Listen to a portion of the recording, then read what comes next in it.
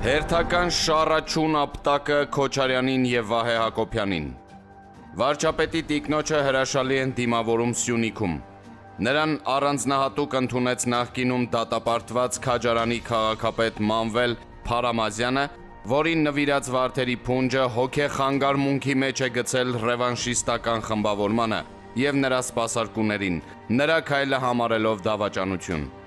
Ինչպես Դաշինքի առանձին падգամավորներ, այնպես էլ Փարամազյանը հասկանում են, որ իրենց ապագան կապել Քոչարյանի հետ անհեռանկար է, եթե չասեմ քաղաքականապես կործանարար։ Ոստի օր առաջ փորձում են ուղղել իրենց սխալները եւ իրենց զատում են Քոչարյանից։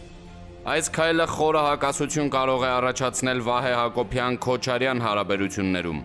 Հաստատ գլխավոր ամբաստանյալը Վահեից հաշիվ կպահանջի Փարամազյանի քայլի համար։ Պատահական չեն խոսակցությունները Վահեի մանդատից հրաժարվելու մասին։ Օր-օրի դաշինքը փլուզվում է։ Երբ իշխանը եվրոպական պաշտոնյաների առաջ խոնարհվում եւ ժպտադեմ քծնում էր, իր ընկերներ Վարդևանյան Արամն ու Մանուկյան Գեղամը մի 50 հոգի հավաքել էին Եվրամիության դեսպանության շենքի մոտ, վիրավորում եւ ամոթանք էին տալիս դեսպանին։ Դրսում քահանա, ներսում սատանա։ Գնացել ես Եվրոպա, որ ինչ անես, որ ում համոզես։ Եվրոպացին ձեզ լավ գիտի, իշխան։ Դիվանագիտորեն կժպտան եւ դրանից քո բերանը կարմիր խնձոր չի գնա, բայց իրականում կզզվեն քո բամբասանքներից։ Հաղթանակած կվերադառնաց, մուտիտներ կանես, մի քանի օր կխափես մի քանի 100 մարդու եւ նորից կմաշվես քաղաքական չարորակ ուռուցքով տարապող հիվանդի նման։ Պաշտպանության նախարար Սուրեն Պապիկյանն ազգային ժողովի ամբիոնից հայտարարեց, որ գլխավոր շտաբի նախկին պետը այժմ падգամավոր զանգել է հանրապետության զինկոմին եւ պատասխան պահանջել, թե ինչու դիմադրության շարժման ակտիվիստներին կանչում հավաքների այն դեպքում, երբ փողոցներում, հրապարակներում եւ հարցազրույցներում կուրցք են պատրում, որ Արցախի եւ Հայաստանի պաշտպանությունն իրենց համար անկյունակարային է։ Այս զանգը միարժեքորեն ցույց է տալիս այդ խմբակի իրական դեմքը, որը պարուրված է հայրենիքը փրկելու սուտ եւ կեղծավոր շղարշով, որ այս մարդկանց տենչանքը միայն ու միայն Քոչարյանին, նույնն է իրենց իշխանության բերելն է։ Ինչ Արցախ, ինչ Հայաստան։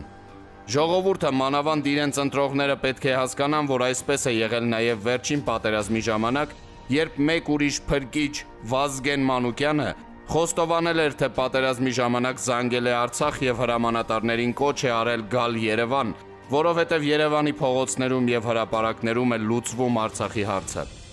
Հայրենիքն այս հանցավոր կլուբի համար այդպես էլ մնաց, որ կորը բավարարելու միջոց։ Հայաստան կոչվող հակապետական ռևանշիստական խմբակցությունն ունի 29 պատգամավոր։ 11-ը Քոչարյանի կողմնակիցն են, 11-ը դաշնակներ են, 6-ը Վահե Հակոբյանի կուսակցությունից եւ 1 Հայաստան կուսակցության նախագահ Արթուր Ղազինյանը։ Արթուրը դուրս է գալիս խմբակցությունից։ Ցուցակի հաջորդ համարը դաշնակ է։ Նրա մանդատ վերցնելու դեպքում դաշնակների քանակը գերազանցելու է Քոչարյանի կողմնակիցների քանակին։ Կհամաձայնվի Քոչարյանն այսպիսի դասավորությանը։ Թույլ կտա, որ դաշնակների քանակը մեկով շատանա, թե կստիպի ինքնաբացարկի դիմում գրել։ Կարծում եմ կստիպի դիմում գրել։ Կպայքարեն դաշնակներն այդ մանդատը ստանալու համար, թե հլու հնազանդ կհամակերպվեն։ Չգիտեմ։ Սպասենք զարգացումների։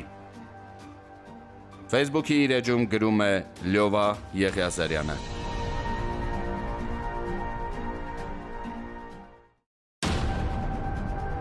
Հայաստանում կա տարածված կարծիք, որ Ռուսաստանը չի ցանկանում կարգավորել Արցախյան հակամարտությունն ու հայ-ադրբեջանական խնդիրը, որ เป զի դրա շնորհիվ մնա ռեգիոնում իսկ արևմուտքը հակառակը, ձգտում է կարգավորել հակամարտությունը, որ เป զի Ռուսաստանին դնի ռեգիոնից դուրս։ Այդ մոտեցումն անկասկած ոչ միայն զուրկ չէ տրամաբանությունից, այլ ունի բավականին կուր սխեմատիկ կառուցվածք։ Ռուսաստանը ճանենալով տնտեսակաղակական եւ մշակութային գրավչություն, ստիպված է իր ազդեցության գոտին պահել ուժային մեթոդաբանությամբ։ Այդ թվում օգտագործելով նաև հակամարտությունները, որ իբրևական ժամանակին տեղակայվել են այսպես ասած խորհրդային ամբողջ գոտով։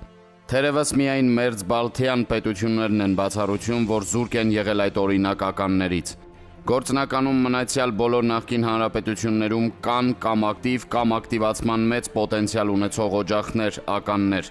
Օրինակ հենց այս օրերին բավականին դետոնացվել է ուզբեկական ականը Կարակալպակյան ինքնավար հանրապետությունը։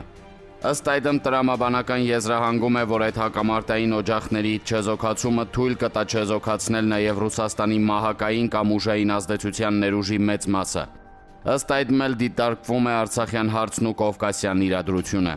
Բայց այդուհանդերձ որտեղից համոզումը, որ արևմուտքը ցանկանում է հենց դա՝ կարգավորել հակամարտությունն ու հերացնել Ռուսաստանին։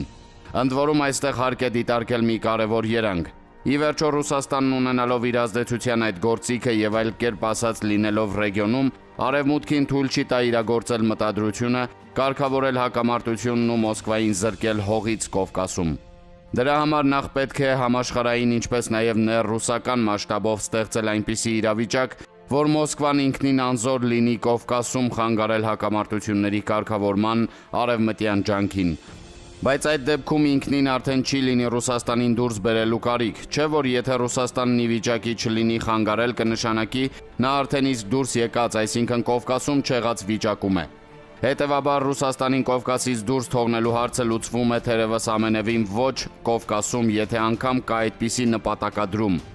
Ըստ այդմ հարց է առաջանում, թե ինչու է արևմուտքը ձգտում կարգավորել Արցախյան հակամարտությունը, նպաստել հայ-ադրբեջանական կարգավորմանը, հայ-թուրքական կարգավորմանը, ինչու է օրինակ ձևավորվել բրյուսելյան գործընթացը։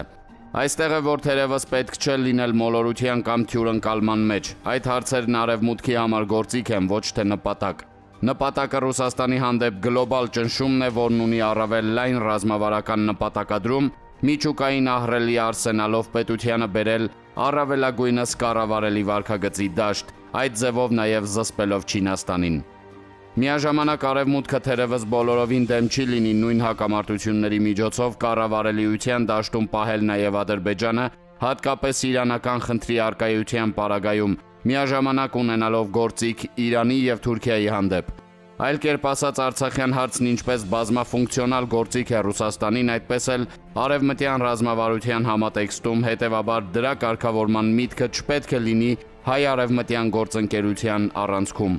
Այն կարող է լինել միայն տակտիկական մաս, իսկ ռազմավարական իմաստով հայ-արևմտյան հարաբերության հիմքում կամ առանցքում կարող է եւ պետք է լինի միայն Հայաստանի համակարգային արդիականացումը եւ պետության որակի փոփոխությունը։ Ընդ որում հենց այդ կերպ Հայաստանը կարող է կենսունակ լինել այն բարդ աշխարհակաղակական եւ աշխարհակարգային турբելենտության կամ նոր բաժանումների անորոշ գործընթացի պայմաններում, որը թերևս կշարունակի բավականին երկար, առավելագույնն ունենալով միջանկյալ դաթարներ։